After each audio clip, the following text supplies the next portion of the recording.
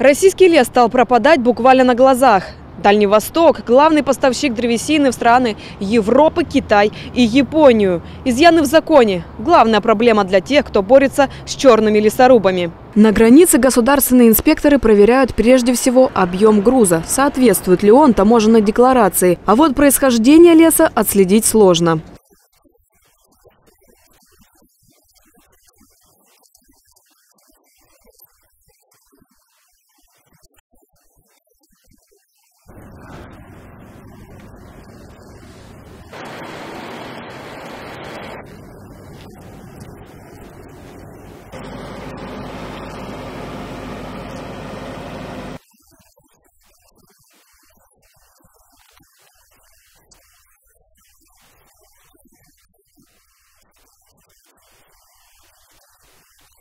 Маркировка каждого бревна применяется лишь для особо ценных пород леса – дуб, бук и ясень. Часто под документами, полученным легальным путем, может проходить более дорогая древесина, добытая незаконно. Согласно статистике Россельхоза, ежегодно черные лесорубы вырубают более миллиона кубометров древесины на сумму в 11 миллиардов рублей. Международные эксперты оценивают нелегальные заготовки древесины в 15 раз выше. В этом году на Дальнем Востоке официально на экспорт ушло 5,5 миллионов тонн древесины. Большей частью это необработанный круглый лес. Таможенные органы Дальнего Востока в 2020 году не допустили незаконный вывоз за пределы России и изъяли свыше 18 тысяч кубометров лесоматериалов стоимостью более 100 миллионов рублей.